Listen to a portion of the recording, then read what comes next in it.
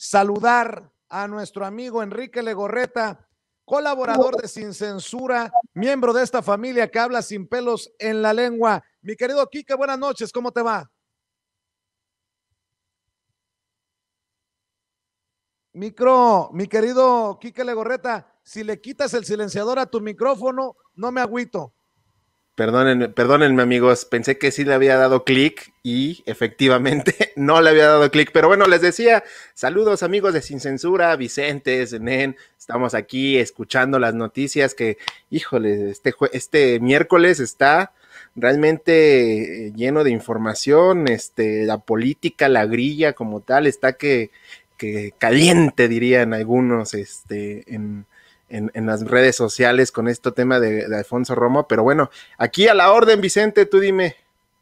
Pues vamos a entrar con ese tema de Alfonso Romo. Se va el que dicen muchos, y creo que con justa razón, el más neoliberal de los miembros del gabinete del presidente Andrés Manuel López Obrador. Eh, Alfonso Romo, un empresario que le entró como jefe de la oficina de presidencia, dice el presidente que solo lo hizo por él y que por dos años y ya se cumplió, así que que le vaya bien, don Poncho. Sí, estaba leyendo este tuit que daba López Obrador por la tarde sobre Alfonso Romo y también estaba leyendo, ya sabes, los, opinólogos de siempre, estos traviesos de, del periodismo en México que se dedican a, llevar la grilla por donde sea, que señalaban que, que Alfonso Romo ya no tiene cartera eh, política en el gobierno de López Obrador y que pues prefirió hacerse a un lado que mantenerse en el cargo que le dio el gobierno de México encabezado por López Obrador. Algunos dicen que pues eran muchos este, eh, contratiempos o, en, roques que tenía Alfonso Romo con los miembros del gabinete de economía principalmente. Eh, otros dicen que fueron eh, los problemas que dejó las promesas que no cumplió Alfonso Romo al sector empresarial, este sector empresarial que confiaba mucho en lo que dijera eh, López Obrador en cuanto a las inversiones que podían haber. Hay que recordar que hasta apenas hace unos par de meses se publicó el plan de infraestructura donde pues se va a invertir el tema eh, público con el privado para llevar a cabo obras de gran renombre en, en el país. Y también otro de los puntos que dejan en la mesa sobre el tema de Alfonso Romo, estos especialistas, eh, estos perfectos periodistas de, que le llaman de la élite, como bien nosotros hemos hablado muchas veces de ellos, dicen que Alfonso Romo también se va porque hubo problemas con eh, miembros de, integrantes de la Secretaría de Hacienda que han tomado puestos importantes que él tenía y que desafortunadamente muchos tuvieron que muchos tuvieron que salirse y, que de ahí va el tema de la salida de Romo. ¿Le creemos a López Obrador? No lo sé. Muchas veces eh, lo que dice Obrador sobre las salidas de miembros de su gabinete son ciertas, otras veces llegan a conflictuarse como las de las pasadas con el tema de, turismo, eh, con el tema de, cultura y todo este tema que hubo a, principios de año y el año pasado cuando se iba a cumplir el primer año de gobierno. Pues así las cosas, Vicente. Eh, se pierde un gran eh, enlace en el tema de la, industria en nuestro país, en el tema empresarial. Yo creo que sí y no. Sí, porque eh, Alfonso Romo venía cumpliendo un, un brazo, llamarlo de cierta forma, con el poder económico y el poder de el poder del gobierno federal, de cierta forma. Alfonso Romo facilitaba esta interlocución que había con el sector empresarial en cuanto a los niveles de, acuerdos, niveles de pláticas con el presidente López Obrador. Hay que recordarlo, fue uno de los impulsores para que eh, los cachitos que se vendieron en, las industrias, en las empresas, pues bueno, los, los, los jefes, los dueños los compraran.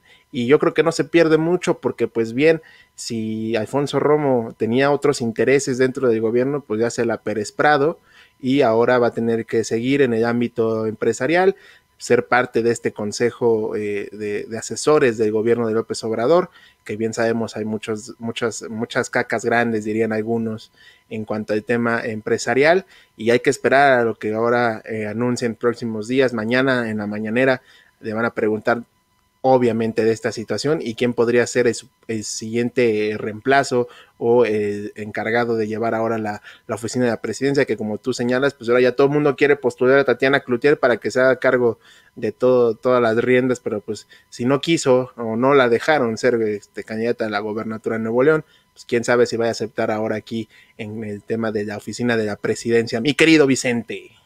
Mi querido Quique Legorreta, mi querido Zenén, lo que sé es que Tatiana Cloutier tiene más pantalones que uno que otro de nosotros, o a lo mejor más que los tres juntos, y el tema de Poncho Romo, de Alfonso Romo, conflictúa, confronta a los Cloutier.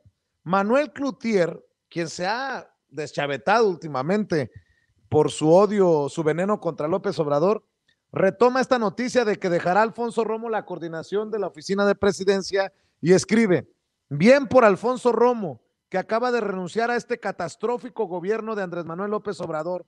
Se hartó de que se golpea a diario al sector privado y tener que dar la cara ante los empresarios. Decidió ya no dialogar con el hipócrita. Espero que el presidente sea agradecido con Poncho Romo y lo deje seguir su vida empresarial, respetándolo y sin vengarse porque decidió no seguir en este catastrófico gobierno. Y a ese comentario de Manuel Cloutier responde una, con mucho respeto, cabroncísima Tatiana Cloutier con un tuit lapidario a su hermano. Qué absurdo comentario y lleno de frustración mal manejada. Toma la barbón, mi querido Senel. Fuerte, fuerte declaraciones de la familia Cloutier, pero se puso de apechito porque el presidente, incluso en las despedidas, está hablando de un amigo, de un colaborador, y eso pone en claro y pone en primer plano que aunque se vaya Alfonso Romo, seguirá estando en esa comunicación que no desea ese empresariado que se ha encargado de quitarle la esperanza a millones de trabajadores. Entonces, ahí se equivoca eh, Manuel Cloutier y qué bueno que la hermana, que espero que sea la menor, para que aprenda el mayor, le da un, jalón de orejas.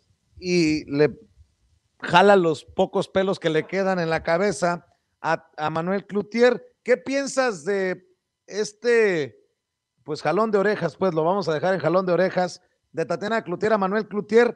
¿Y qué piensas de esta declaración de Andrés Manuel López Obrador, Quique? Dice, Alfonso Romo es un hombre independiente, honesto, comprometido con las causas justas y además es mi amigo creo que más claro ni el agua. Así es, Vicente. Eh, hay que dejar en claro algo. Eh, ¿Qué importancia tuvo Alfonso Romo? Sí, sí, sí, es, fue importante en el gobierno de López Obrador porque a nadie le ha dedicado más de tres tweets para eh, anunciar la salida y, de forma tan sentimental. Eso sí hay que dejarlo muy en claro. Es una persona que en el sector empresarial le brindó su confianza a López Obrador desde hace mucho tiempo. O sea, hay cosas malas de Romo, sí, hay muchas cosas malas de Romo en el gobierno, totalmente. Nadie es eh, bueno y nadie es tan malo.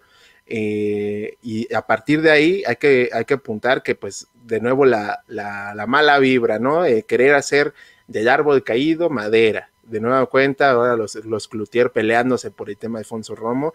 Ahí vemos a Tatiana que le da un tremendo revés, así de esos eh, tipo Canelo Álvarez, dejándole en claro que está todo meco, el buen este. Eh, el hijo de su hermano, perdón, su hermano, eh, el hermano Cloutier mayor. Y también hay que reconocer algo, o sea, ¿Qué tan importante eh, o qué tan eh, menso se ve en la oposición para tomar de este tipo de, acciones, de este tipo de, medidas que toman en el gobierno, de decisiones que se dan en el gobierno?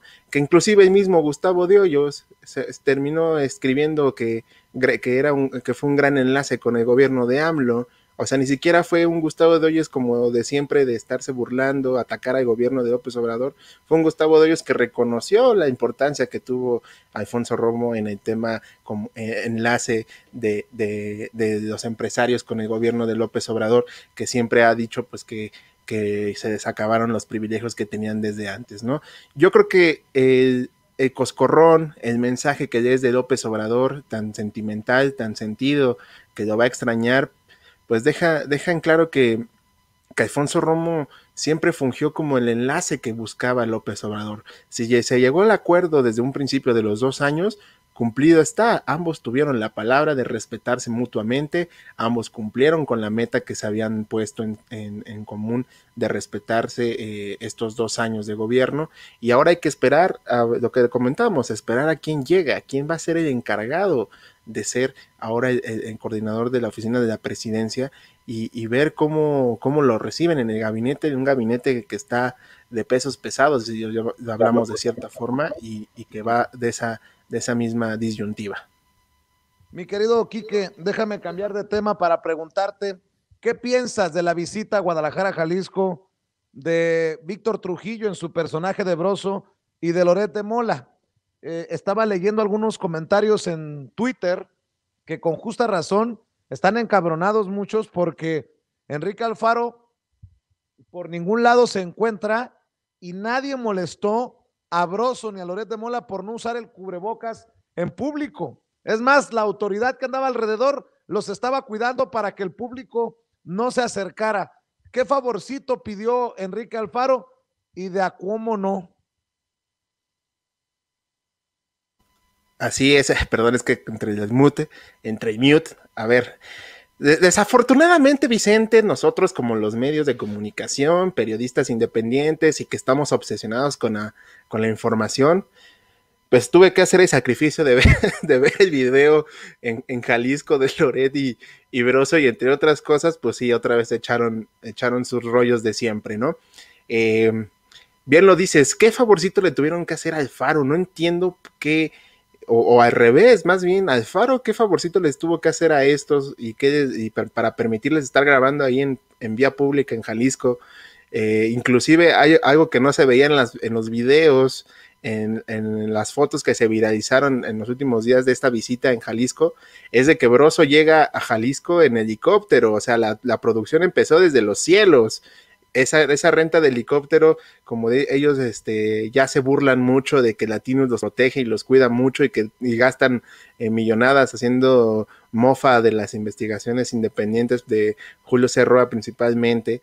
Eh, este, esta situación de, de, que, eh, con qué se, con qué se está protegiendo al Faro, ¿no? ¿Por qué recurre a Broso y a Loret?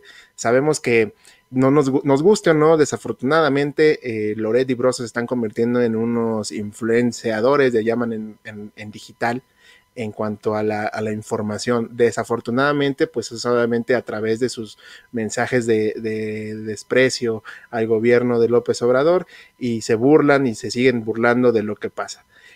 Yo creo que va más por ahí, va más un tema de protección de Alfaro en cuanto a la información que se, que se viene. A lo mejor se viene una información cabrona contra Alfaro y se está tratando de curar en salud para tener medios aliados. Y qué coincidencia que sea uno de los eh, gobernadores de la eh, Alianza Federalista los que están cuidando, ¿no? Las investigaciones señalan que hay ahí inversiones de, de, Silvana Aureoles, parte de, este de los gobernadores rebeldes, les dicen en los medios, y, y, es ahora el Faro quien recurre a este tipo de eh, prerrogativas de cierta forma en cuanto a cuidarse su imagen, a cuidarse el qué dirán. Ahora, en el caso de Loret y Broso, como les comentaba, pues es una, una forma de decir, pues los gobernadores que están en contra de López Obrador nos están apapachando, los gobernadores que no están a favor de las eh, políticas públicas del actual gobierno son nuestros cuates, nos permiten hacer muchas cosas y el ejemplo claro es poder grabar en calle, poder grabar eh, eh, solo él y yo sin sana distancia de las demás personas, porque ellos, pues ellos están ahí solos, están cuatro personas grabándolos, pero independientemente de eso, pues ahí está el mensaje. Y bueno, en resumidas cuentas, el video de qué va, pues se burlan principalmente del el informe de López Obrador, se burlan de eh, la nueva guía ética que publicara eh, la semana pasada López Obrador, se burlan de que la economía está por los suelos, que son cuatro jinetes los del apocalipsis, los que dice eh, comanda López Obrador, que tiene a su paso, y sobre todo dicen que el gobierno de México está haciendo tonterías con el tema de la pandemia y que se les está saliendo de control por tener a un Gatel, a un personaje tan eh, orgulloso y tan cerrado para atender la situación.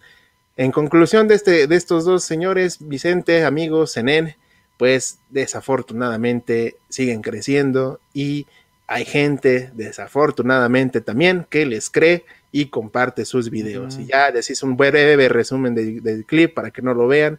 Yo me lo tuve que echar los más de 20 minutos escuchando puras tonterías, sin números ni datos congruentes. Mi querido Vicente. Mejor, mejor vamos a pedirle a la gente que te apoya a ti en redes sociales, mi querido Enrique Legorreta, para cerrar. Sí, es Vicente, les agradezco mucho al equipo de Sin Censura, a toda la familia de Sin Censura que, que, me sigan en mis redes sociales, arroba Enrique Lego en Twitter y en Instagram y arroba soy Enrique Lego, la fanpage de, de este servidor que está siempre pendiente de la información y eh, le, mando, le mando un fuerte abrazo a Zenén, eh, a Gunter allá y por supuesto a ti, mi querido Vicente, aquí estamos al pendiente. Gracias, mi querido Enrique Regoleta. Enrique Legorreta es parte de esta familia que habla sin pelos en la lengua, sin censura, periodista independiente y pues miembro de la casa, gente de casa.